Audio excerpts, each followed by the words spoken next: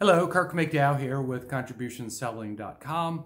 Uh, today's question I'm going to answer is um, how to develop a sales training program. How to develop a sales training program. Uh, one of my favorite topics. I love developing programs. I've developed a sales training program called Contribution Selling. Uh, the URL will be in the description, contributionselling.com. I've got some free training there and an invitation to uh, get on my calendar for 30 minutes and apply some of that training to a real world selling situation in your life. So, uh, contributionselling.com. So, uh, how to develop a sales training program. Um, so, a couple things. Uh, first of all, a sales training program for what? so, is this a general sales training program introducing the idea of sales, creating new contexts and possibilities around sales? I've got a book called Contribution Selling that's kind of that, right? It kind of breaks down um, what selling has been in the past and what it could be in the future, essentially a form of manipulation. Most sales training programs that I've encountered uh, over my 30 something years 30 something, 40 something, 30 something, long time. Anyway, um, uh, is uh, sales training tends to be uh, ever more subtle forms of manipulating people to get them to do something, agree with something, uh, you know, say yes, write a check, sign the agreement, whatever it is.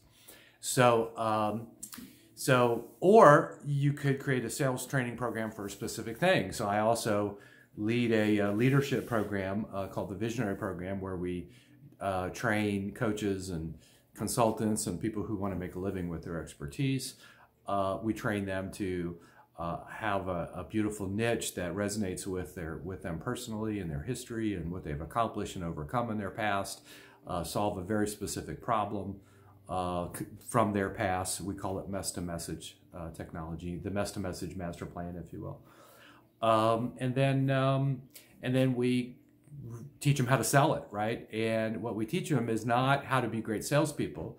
What we teach them is how to be the real deal, right? Get your integrity cleaned up from the inside. Be someone who people could trust, right? Be someone who people could trust. And by the way, I'm not talking about the obvious stuff like um, you probably don't go around beating people up and stealing cars and stuff, but being someone who who people could trust, like being the kind of person people want to do business with right? And if you look for yourself, there's actually some characteristics of the person, the ideal person you would like to do business with. How do I know that? Because it's kind of universal, right? Uh, the big reveal is everybody's kind of looking for the same thing, right? So when you interact with a salesperson, you're looking for someone to solve your problem. You're looking for someone to take care of you in some way, make things better, someone to listen attentively to what you're dealing with and what you're committed to and what the challenges have been, and someone who can offer a solution that is actually a solution to the actual problem, right? A solution that makes things better. Uh, and then um, someone to guide you through the solution, help you, assist you, make sure you get the best outcome and results, right? So that's just everybody wants that, right? Uh, in other words, the real deal. Well, that's what I call the real deal, right? Someone who is what they say they are. They're not uh, using flowery language and you know psychological techniques to you know close you, right? They're actually like care for you and they're speaking to you as though you were someone that they really cared for and loved and was were, were trying to assist, right? So you probably want that. You want to interact with someone who actually is going to be the real deal with regard to actually having an interest in your welfare, an actual solution to your problem, and listening keenly and attentively enough so that they come up with a solution that's relevant and important and could actually make a difference for you, right? So uh, everybody's looking for that. So how I would develop a sales training program is to get people cleaned up from the inside out, right? Um, my programs sort of have a, a hallmark to them, you know, integrity, inspiration, authenticity, uh, being a contribution, being a great receiver, uh, and then on to acknowledgement. And uh, while that may sound like not a direct correlate to sales, I assure you it's a, it's a, um, it's a state changer. It's a, oh my gosh, right? Sales could be a form of articulating like who you are from the most highest resonant and most inspired uh, trajectory. Like Uh, maybe selling is communicating who you are, what you're here for, what the problem is that you're here to solve, and articulating your real dealness, right? Like you're one of the good guys, you're one of the or one of the good gals, you're one of the people who spend less time figuring figuring out how to sell and more time how to be the real deal so that that real dealness comes across in conversations and interactions with prospective clients right?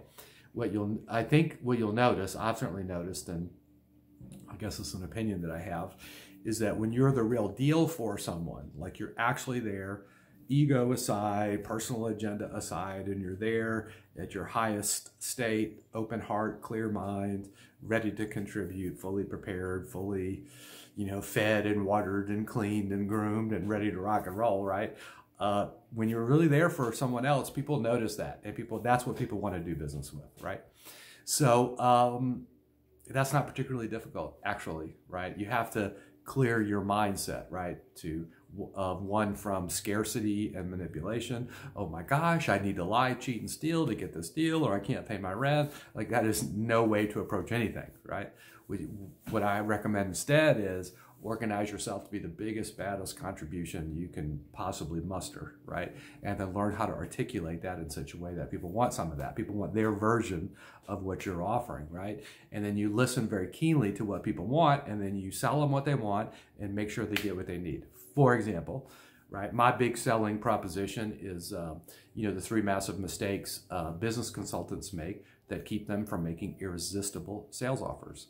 So people want to make irresistible sales offers. People in my line of business, consultants and coaches, whatnot, we want to make offers that people just can't say no to, right? Now, so I sell that and I provide that. I show people how to make offers that are just irresistible, right?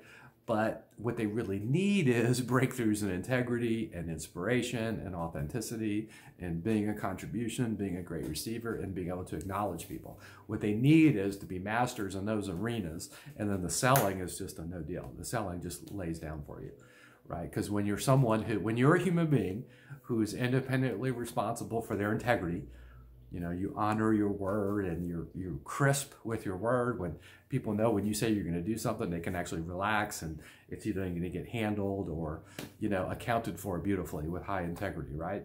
Uh, let's so let's say you're a human being who's independently responsible for your integrity right? And then on top of that you're a human being that's independently responsible for your inspiration. Have you noticed when you're in a high state of inspiration your integrity's in and you're really inspired um, things are just easier. People want to people want to play with you. People want to do whatever you're up to, right? So if you're in a high state of integrity, high state of inspiration, and oh my gosh, the next space is authenticity. You're the human being who says the thing that nobody says, opens up the whole space so that everybody can be real and authentic with each other, right? You're that person because you're authentic. You're saying the thing that no one says, right? You're saying the thing that's true for you and allowing other people the same. So you create the possibility of other people people being authentic around you by your authenticity, right? So so check it out. Integrity, inspiration, authenticity, moving on to being a contribution, right? You'll notice when your heart is open and your mind is clear and you're well taken care of, you desire to contribute to people. I went to this massive three day transformational weekend a bunch of years ago and uh, the leader asked two questions that altered the trajectory of my life. Question number one Who here loves to contribute to people? And everybody's, yeah, yeah, I love to contribute, woohoo, right? Great. Second question Who here is easy to contribute to? You know, out of 150 people, like three hands go up, right? So you can kind of see how that drives people crazy. Everybody wants to contribute to each other, meanwhile, letting no one to, to contribute to them, right? So that's the next space, the space of contribution. So we got integrity, inspiration, authenticity, contribution, and then people in our line of work, heart-centered coaches and whatnot, tend to overgive, right? It's kind of a pattern, right? We think it's better to give than receive, which is baloney, right? So the next space is learning how to be a world-class receiver so that you can be a world-class giver. If you have nothing to give, you you have nothing to give. If you have a lot to give, you can be an awesome world-class giver. So receiving is critical. And then that next space is acknowledgement. Be someone that everyone else gets to be big around. Like you're acknowledging other people. People get to be bigger. That which you acknowledge gets bigger. You're creative and transformational and what you choose to acknowledge in other people. It's not like, hey, great tie. It's like, hey, I notice you really care about people. That's beautiful.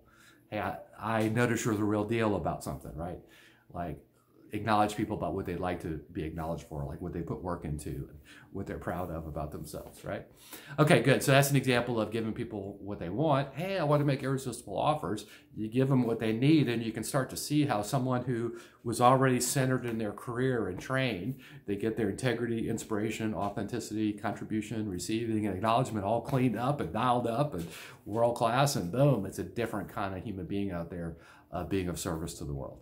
All right, so so that's that's an idea. So the question was uh, how to uh, how to how to develop a sales training program. So for me, it's a program that addresses, you know, the technical skills and the the the the whatever it is you're selling, like you understand what you're selling, right, and you're great at it.